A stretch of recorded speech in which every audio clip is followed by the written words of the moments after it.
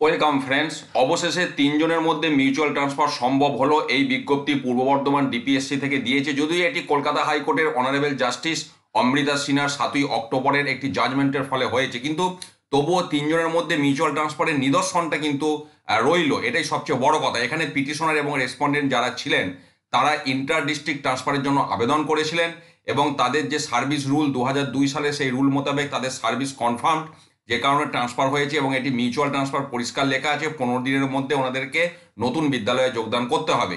এবার এটা যে তিনজনের মধ্যে মিউচুয়াল দেখুন আমি আলাদা রং করে দিয়েছি স্কুলগুলি। প্রথম ব্যক্তি সুজাপুর এপি স্কুল থেকে যাচ্ছেন, মাল্টি এপি স্কুলে। দ্বিতীয়জন মাল্টি এপি স্কুল থেকে Sudpur Binapani junior basic school তৃতীয় ব্যক্তি Sudpur Binapani junior basic school থেকে যাচ্ছেন। সুজাপুর এপি স্কুল মানে প্রথম ব্যক্তির স্কুল।